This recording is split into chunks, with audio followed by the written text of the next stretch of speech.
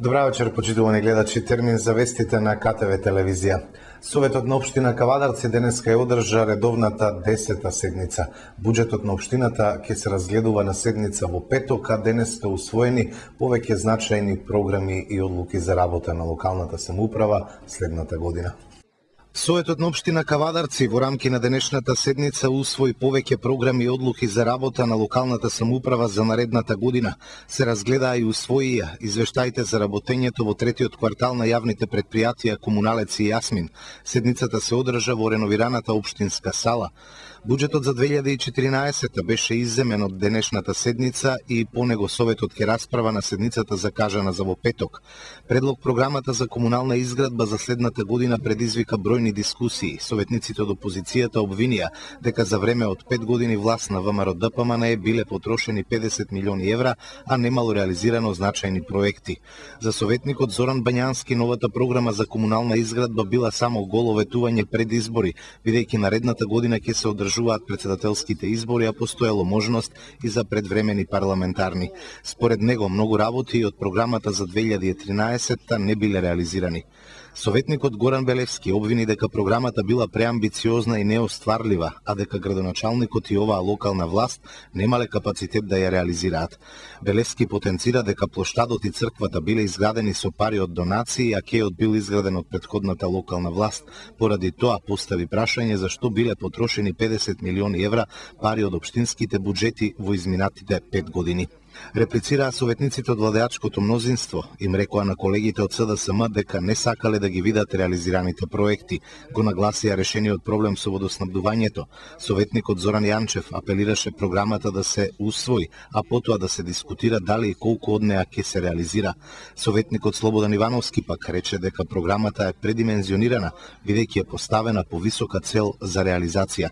Стварно се чудам на политиката на СДСМ. Толку се направи, а вие не сакате да погледнете. Не кажувате дека е решен најгорливиот проблем со водоснабдувањето, подлече во својата дискусија советничката Анита Гинова Каракутова. По долгите политички препукувања, програмата беше усвоена, а поддршка добија и програмата за изградба на градежно земјиште, за изградба, реконструкција и одржување на локалните патишта, програмата за работа во областа на располагањето со градежно земјиште во собственост на Република Македонија.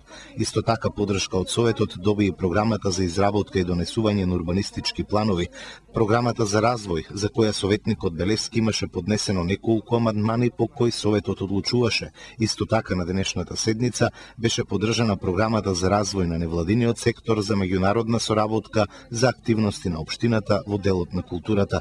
Советот ќе заседава и в петок, ќе ја одржи 11-тата седница на која ќе се расправа за општинската каса за следната година. Во функција на подпредседател на граѓанска опција за Македонија Кавадарци Панчо Минов денеска на пресконференција изнесе неколку предлози на гром во однос на буџетот на општина Кавадарци за 2014 Според неговата партија во буџетот потребни се неколку корекции и пренамени.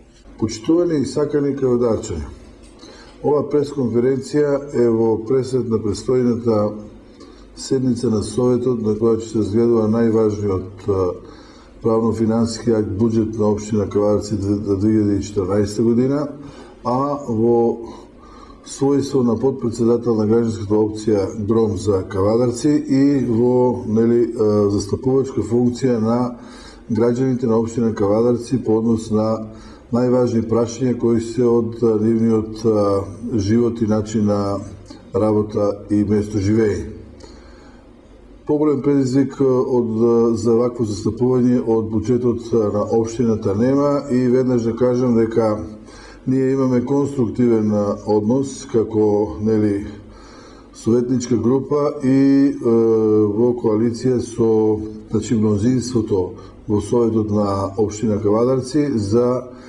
усвојување на буџетот за 2014 година со конкретни предлози во однос на пред се афирмација на развојната функција, каде што покрај е, предвидените развојни проекти во рамките на износот од предвидените 39,5 милиона денара предвидуваме да во 2014 година Обштина Кавадарци обавезно го предвиде изградбата и продолжувањето на колекторот кон Сопот. Тоа значи и а, континуитет на решавање на сега големите еколошки проблеми и неподносливи последици што ги има од загадувањето на реката за населените места Страшо Пинџур, Заглишич и Марина. Во оваа смисла ние застапуваме да општинскиот буџет предвиди 3 милиона денара за собствено учество, доколку пак обезбеди средства од фондација од Министерството за човекова средина и погранична соработка странски фондации, да овој износ за тој дел на обезбедени други средства се намали. Натамошното наше застапување е во подршката на локалниот економски развој, каде што предлагаме да наместо одредени позиции, кои што не се во директна непосредна функција на подршката на локалниот развој и на решавањето на најзначајниот социјално-економски проблем, а тоа е вработувањето, наше застапување е во конкретни позиции да се намалат трошковите за такви непродуктивни а, трошкови во подршката на економскиот развој и да средствата во износ од 2,5 милиона се наменат на конкретни реализации на проекти кои ќе значат подршка на мали бизниси, како и онаа подршка во областта на туризмот, посебно селскиот туризам за покрај за брошури, за печатења и издавања да се наменат средствата и за мал бизнис во туризмот, што нешто не е необходно. Исто така, ние застапуваме привремените вработувања од 4 милиона да се зголемат на 5,5 милиона, што значи многу повеќе форми на а, привремени вработувања, практиканство и јавни работи, што е а, суштествена потреба за невработените лица да им се даде прва шанса со од општината обезведено а, плаќање на платите од 6 до месеци до година дена. И уште една заложба е наша голема преокупација, тоа е заложбата во делот на превентивната здравствена заштита, односно превенцијата еколошка, да во градот Кавадарци, по примерот што сега го слушаме по медиумите во Скопје, да се мери на секој загадувач неговото учество во загадувањето на квалитетот на воздухот, ние предлагаме да во градот Кавадарци се инсталира јавна, транспарентна а, мерна станица со која ќе се мери воздухот и сето тоа ќе биде во корелација со ангажирани службени лица од а, локалната самоуправа и ќе биде во функција на едно транспарентно и јавно запознавање на граѓаните со квалитетот на еколошкиот начин на живење во Кавадарци. Советот на Обштина Росоман ја одржа 11-тата поред седница со 6 гласа за и тројца воздржани. Советниците го изгласаа буџетот за 2014 во висина од над 60 милиони денари. Единаесетата седница поред и последна за оваа година синоќе одржа Советот на Обштина Росоман. На дневен ред носечки беше предлог буџетот на Обштината за 2014 година. Радко Стаменов, раководител на секторот за финансии, одговорница детално го образложи предлог буџетот во висина од над 60 милиони денари. Стаменов говореше за начинот по кој би се движел планираниот буџет за Обштината и буџетите за установите кои функционираат под капа мапата на општината. Забелешки во предлог буџетот најде советничката Маја Миленовиќ, која ги потенцираше според неа зголемувањето на договорните услуги, планираните финансии во делот на советнички патувања за кој побара и одговор за што конкретно ќе се трошат, но забележи и за зголемувањето на планирани средства за привремени вработувања. На ова Стаменов појасни дека планираните средства за патување се само сума со која ќе бидат подмирени трошоците за патување на советниците кои во рамки на побратимените соработки се случува да отпатуваат на средби надвор од државата, но нагласиот и тоа е само планирана сума која не значи дека ако нема потреба ќе биде искористена. Во делот пак на привремените вработувања раководителот за финансии посочи оти средствата се ставени во таа ставка бидејќи во истата пресметани се финансиите за градинката која ќе стартува од јануари 2014 се додека не ја превземе Министерството за труд и социјала. Буџетот за 2014 е само копија од предходната година, констатираше одговорницата на Стојанов, според кој потребен е планиран постојан извор на финансии кој ќе ветува повеќе како индустријска зона, од и вака констатираше Стојанов, приходите ќе се намалуваат. По неговата дискусија, одговорница во име на својата партија, Гром се изјасни советникот Спаса Ристов, кој рече дека ја дава поддршката за буџетот. Копија е буџетот, но со добри дела и реална шанса за остварување, рече градоначалникот Стојан Челазов. Добро е што и советниците го видоа тоа дека е копија на ланскиот, значи верувам дека ќе се и ланскиот повторе, односно дека приходите ќе се зголемат, затоа што и сигурен сум, не верувам, него сигурен сум и секоја година, значи за по некој милион поголем буџет добиваме, а тоа тоа па ќе ја побие некоја теза дека немаме приходи, значи дека ќе се намалат. Значи таму кај што планираме дека ќе се намалат, имаме а, приходи кои што ќе се зголемат. Значи во наредните години, односно веќе почнувајќи од неколку дена надки во Росман, значи треба да да почне и уште поинтензивна изградба.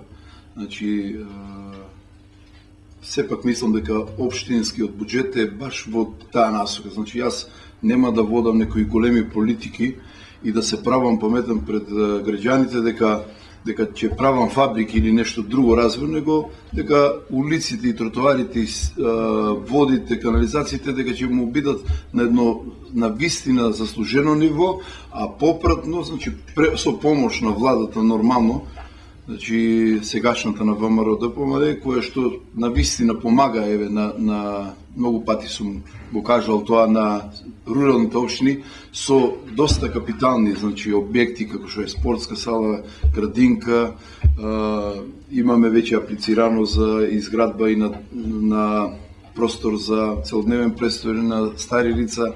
Значи рачунаме дека и во тие поглед ќе имаме простор значи да од средствата кои што се на граѓаните изградиме, односно да направиме Росман подобро место на живење.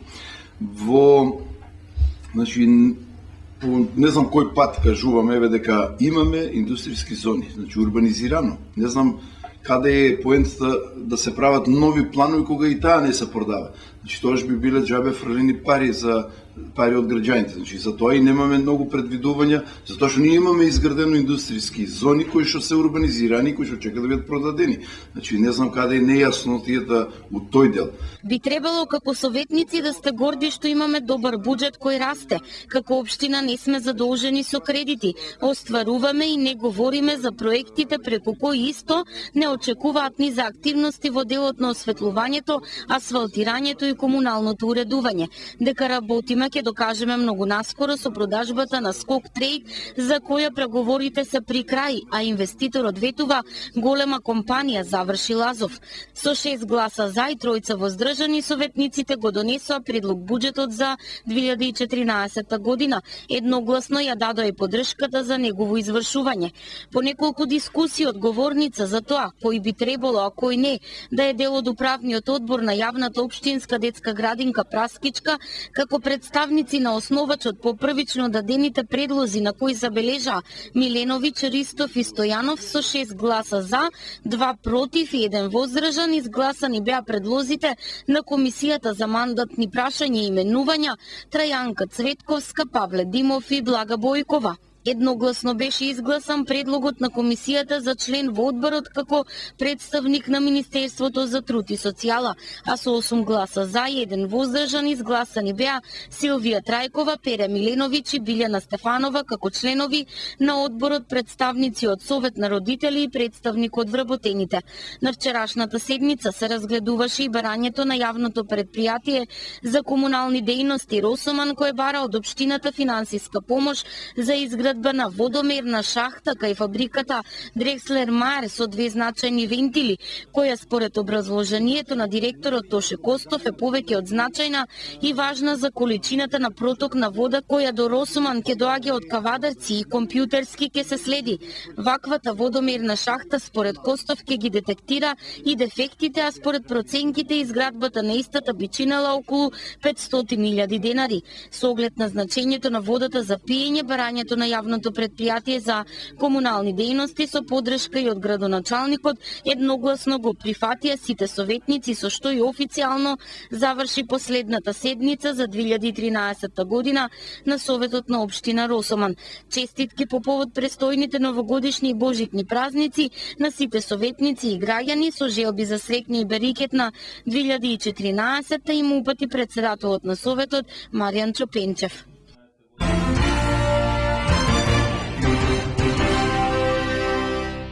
Организиран ден на идеи во Неготино. Ден на идеи за предлози од граѓаните на Неготино. Денеска на плоштадот во Неготино се спроведе акцијата Ден на идеи која што ја организира ВМРО ДПМН. Граѓаните можеа да ги запишат на хартија своите предлози за подобро Неготино, а потоа да ги свиткаат во плико и да ги стават да бидат погледнати од повисоки органи. Еве што велат од Обштинскиот комитет на ВМРО да ДПМНЕ. Почитувани граѓани, нашата еднина е поврзана со идеите за развој и просперитет на Обштина Неготино. Обштина Неготино до сега има реализирано многу проекти од областа на инфраструктурата во градот. Образованието, културата, спортот, комуналната хигиена, уредувањето на повеќе рурални средини и многу други проекти. Денес во Обштина Неготино по втор пат се организира акција Ден на идеи, проведена од членовите на Општински комитет на ВМРО ДПМН од Неготино. Граѓаните на општина Неготино ќе имаат можност да ги дадат своите идеи за доброто на градот и на самите себе така што преку изнесување на корисни идеи, предлози и мерки од сите сфери на общественото живење, ќе учествуваат во спроведувањето и реализацијата на идеи во својата општина. Нашата иднина е за наше добро и за градот во кој живееме. Инаку акцијата на идеи е анонимна, така што секој од дадените предлози ќе биде разгледан подеднакво како што велат од партијата. На третиот конгрес на партијата на Обединети демократи Подем, повторно за председател лидер на партијата е реизбран професор доктор Живко Јанкуловски. На третиот конгрес на партијата на Обединети демократи на Македонија Подем во присуство на 583 делегати од 53 општински организации од целата држава, председателот на Подем професор доктор Живко Јанкуловски со акламација беше реизбран за уште еден мандат да ја води партијата. Конгресот се одржа во присуство на представници на коалиционите партнери од ВМРО ДПМН, представници на збратимената реформистичка партија на Србија, повеќе институции и организации од земјата. Воедно во работниот дел на Конгресот во демократската и конструктивна атмосфера беше усвоен извештајот од заработењето на Подем по период помеѓу двата конгреса беа избрани 56 членови во Централниот одбор и 7 члена во надзорниот одбор. Во своето обраќање лидерот на Подем професор доктор Живко Јанкуловски ја потврди насоката во која продолжува мисијата на Подем со цел партијата и понатаму да придонесува за визијата Македонија да стане членка на големото европско семејство и на НАТО, а граѓаните на Македонија да живеат живеат во поголема благосостојба и да имаат повисок животен стандард. Зад нас стојат огромно искуство и многу дела. Тоа искуство не прави горди и ни дава сила и нашите сегашни и идни заложби да станат реалност. Ние имаме визија за Македонија, визија за напредок, благосостојба и просперитет. Стратешките визии на Подем се насочени кон нова економска и политичка визија за стабилна, интегрирана и почитувана Македонија. Нашето мото Подем за Македонија е водилка и низ нашата програма по која се вклучени голем број проекти кои на Македонија и гарантираат европски стандарди во областа на економијата, социјалната политика, здравството, образованието, локалната самоуправа, меѓународните односи, културата, спортот и сите други области на обштествено политичко живење, рече председателот на Подем професор доктор Живко Јанкуловски. Во Централниот одбор на Подем од Обштинската организација Кавадарци членови се Арсов Методи и председателот на Обштинската организација Лазар Мицев. Дечињата од Дневниот центар за лица со посебни потреби Кавадарци денеска ги посети и со нив другаруваше Дедо Мраз. Тој им донесе новогодишни подароци. Корисниците од Дневниот центар за лица со посебни потреби од Кавадарци и онака се во новогодишна еуфорија. Денеска Дедо Мраз од Тинекс му донеси пакет, новогодишни пакетчиња со што им ја збогати а, им го збогати секојдневниот живот и ги направи повесели и посречни. За возраст, корисниците на Дедо Мраз му испеја песничката Звончиња, Звончиња, му се заблагодарија што се сетиле воопшто на, на, на нив и му поклонија новогодишна честитка. По Росоман и Градско, синоќа и Кавадарци имаше можност да го следи дисидент во рамки на филмскиот караван организиран од Унијата на млади сили на ВМРО ДПМНЕ. Да и Росоман викендот Кавадарци синоќе уживаше во филмското издание Дисидент и градот на виното дел од филмскиот караван организиран од Унијата на млади сили на ВМРО ДПМН, која синоќе во 3D киносалата при Домот на културата го следеше филмот за Драган Богдановски. Председателот на Унијата на млади сили на ВМРО Кавадарци Слободан Ивановски говори за целта на караванот. Вечерва Унијата на млади сили го организира прикажувањето на документарниот филм за ликот и делото на господинот Драган Богдановски, Значи филмот е насловен под името Дисидент. Унијата на млади сили ширум целата Македонија, и сите градови во републиката го организира прикажувањето на овој филм, се со цел младите од кавадаци да се запознаат со вистината за Драган Богдановски, за личноста, за идејниот татко на ВМРО ДПМН, за личноста која што во претходниот режим доживеала премногу тешки моменти заради своите ставови и заради ставовите за Република Македонија и се надевам дека вистината ќе биде прераскажена и во Кавадарци. Само за подсетување, караванот веќе помина низ повеќето градови. Официјално завршува во Битола на 28 овој месец.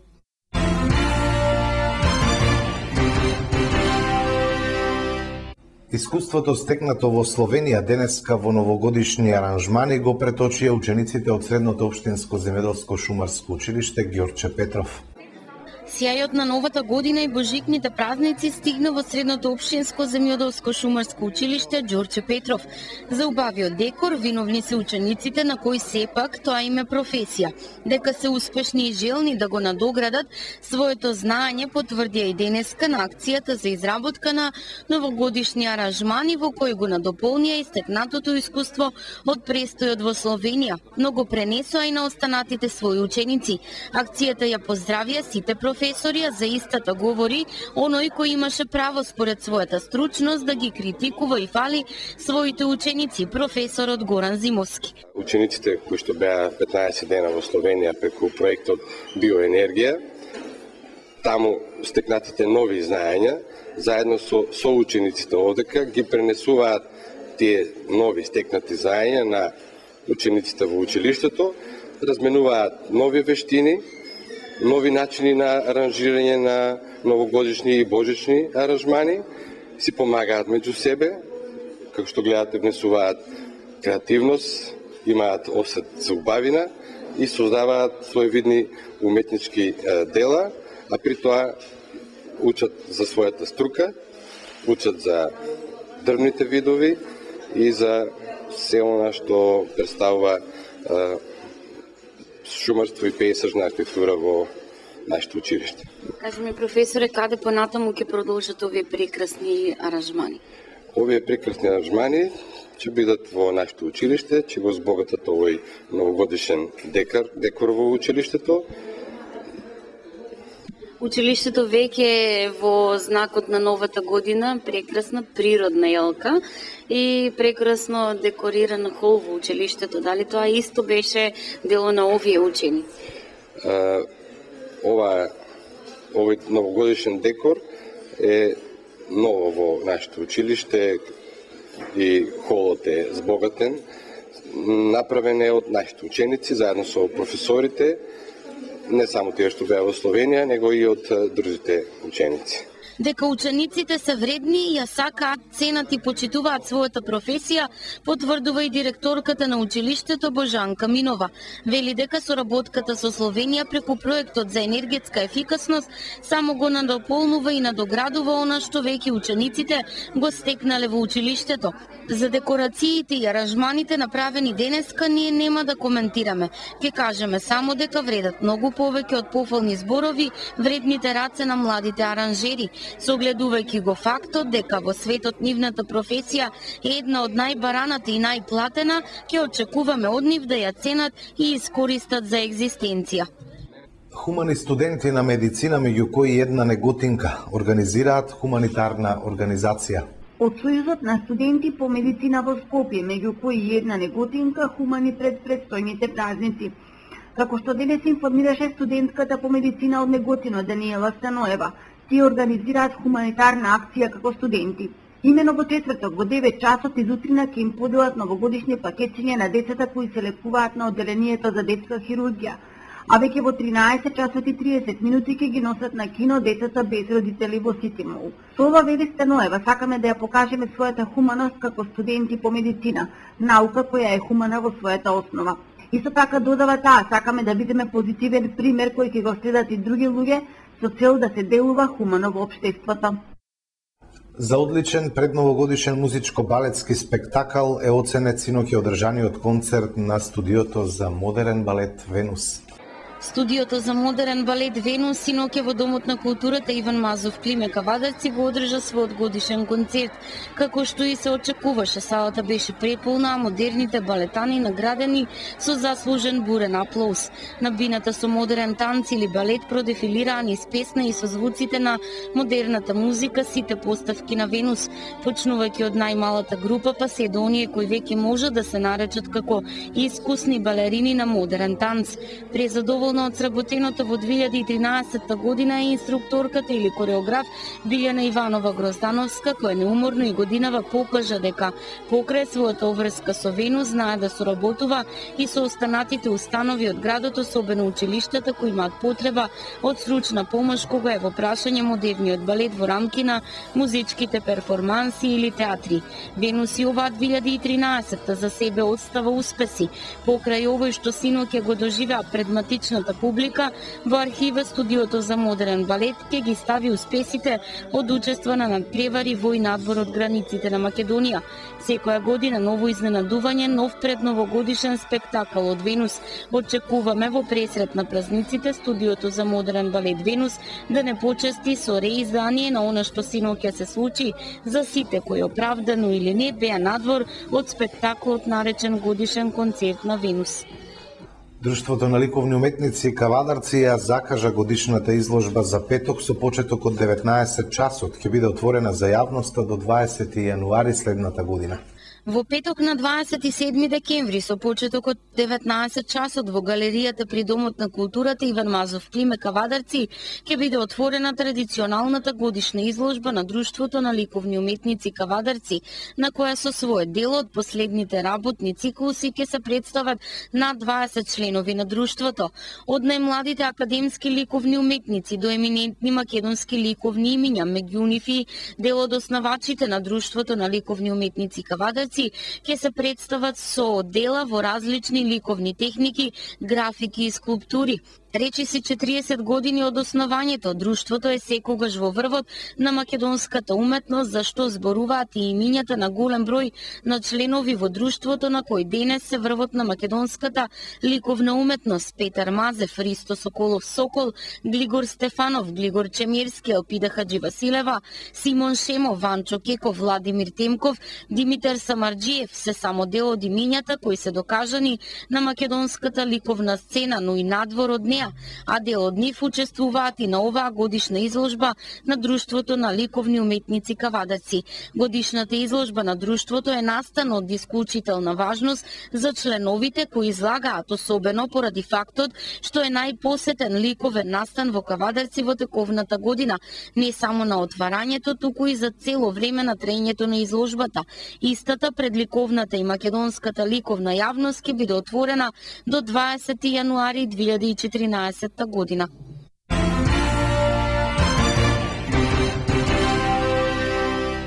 Тиквешијата има голем број на винари. Во многу од нив деновиве се организираат предновогодишни забави. Македонија има неколку десетици винарски визби, а најголем дел од нив се токму во Тиквешијата како најголем лозаро-винарски регион во државата. Винариите не само што стануваат интересни за винските туристи, кои се почесто доаѓаат овде, ами стануваат тренд во некои од винарниците да се прават и пред новогодишни забави. Така и годинава, кога бројни компании одлучуваат да организираат пред новогодишна забава за своите работини во некои од винарските визди, да ги изненадат, да им придадат незаборавни моменти и да им посакаат многу успеси во работата и во текот на наредната година. Представниците на винариите со кои разговаравме рекоа дека постои огромен интерес за такви предновогодишни забави и дека ваквата пракса почнуваат да ја практикуваат се поголем број на компании. Некои од винарските визби веќе имаат изготвено и новогодишно менија во изворедната храна која се припрема во нивните ресторани и божествената течност. Виното ќе може да уживаат оние кои ќе одлучат таму да ја поминат најлудата ноќ во годината. Основното училиште Страшо Пинџур Неготино организира продажба на рачно изработени новогодишни украси од кои собраните средства ќе одат во хуманитарни цели. Основното училиште Страшо Пинџур од Неготино денеска на плоштадот во Неготино изложи рачно изработени новогодишни украси, а еден од украсите изработени од учениците во училиштето му го подари на градоначалникот на општина Неготино Ванчо Апостолов. На приемот кај градоначалникот, учениците му се заблагодарија на Апостолов за неговата поддршка и посветената грижа за училиштето во кое што тие учат. Во кабинетот на градоначалникот учениците гостуваа во придружба на наставници и на директорката на училиштето Сузана Андонова, која што исто така се заблагодари на општината за досегашната поддршка. Градоначалникот на Неготино Ванчо Апостолов организираше прием за спортистот Бошко Илиев од Кавадарци, кој му се заблагодари на Апостолов за добиената подршка. Маратонецот Бошко Илиев од Кавадарци денеска го посети градоначалникот на општина Неготино Ванчо Апостолов и му врачи благодарница за поддршката која што за неговите подеми му ја дала општината на чело со Апостолов. Илиев му се заблагодари на неготинскиот градоначалник и изрази задоволство од досегашната соработка со неготинската општина. Јас пред се сакам да поздравам вашите сограѓани од Неготина и јас сум од Каваци, доктор Бошко Илиев, специјалист по спортска медицина, иначе љубител на маратонското пливање, веќе со години се занимавам со маратонско пливање и мојата цел на нешта посетата е да изразам една благодарност за скромната поддршка од општина Неготино, посебно од градоначалникот, господин Ванчо Апостолов, значи, на тие мои пливачки маратони. Значи, една поддршка за моите патувања и моите остварувања во пливањето. Па видите, јас веќе во 13 години се занимавам со маратонско пливање по балканските простори.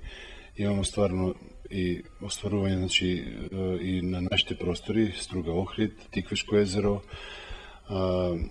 сега ова година и Дојран 5 км, Козјак маратонот и така натаму, претежно од 2006 па до 9 ги протежирам, ги остварувам маратоните по Балкон, посебно на Хрватското приморје, исто така Бугарија, Србија, на реките и така натаму. Значи, сега се имам остварено 28 пливачки маратони, успешно, за овие 13 години и планирам уште неколку да остварам додека нели ги имам моите спортски можности и додека а, желбите во спортски во, во новија простори се значи да се остварат тие маратони.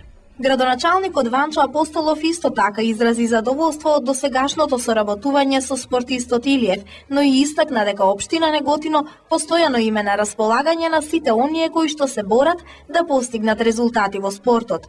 Да, значи денес имав таа чест да добиам благодарница од господинот доктор Бошко Илиев. Ние сите знаеме на овој простор, на овие простори во Тиквишијата, тоа е најпознатиот маратонец кој има голем прилог дадено токму во пливачкиот спорт.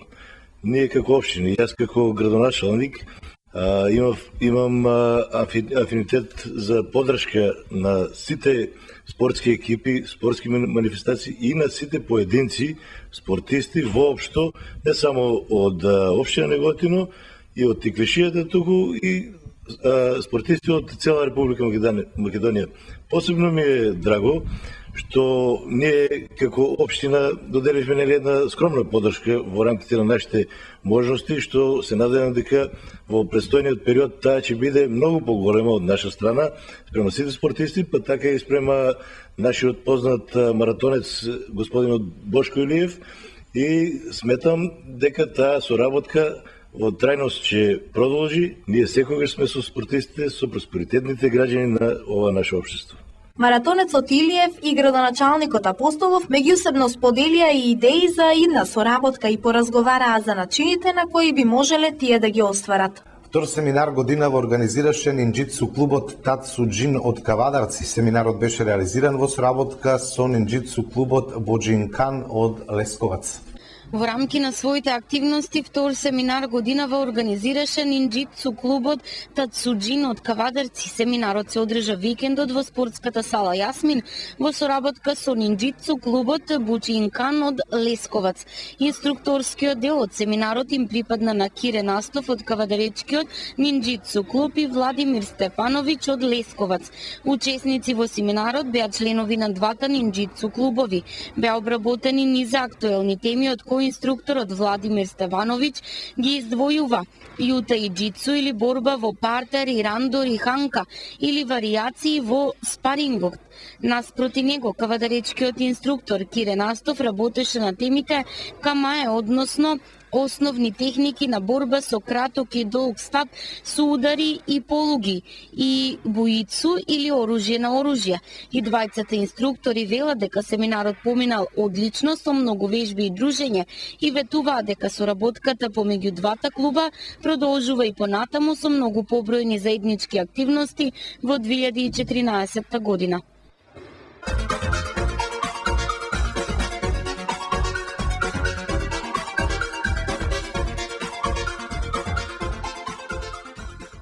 На крајот од вестите следува и прогноза за времето. Во утринските часови ќе има појава на магла, а во текот на денот ќе биде умерено облачно со сончеви периоди. Во вечерните часови ќе има услови за локални врнежи од дожд. Утринската температура од минус 3 до 4, а максималната дневна од 4 до 11 степени. Во четврток и петок под влијание на циклонска активност времето ќе биде облачно со врнежи од дожд и ветровито. Информацијата за времето беше последна во вечерашново издание на вестите. Имајте пријатни мигови со нашата програма.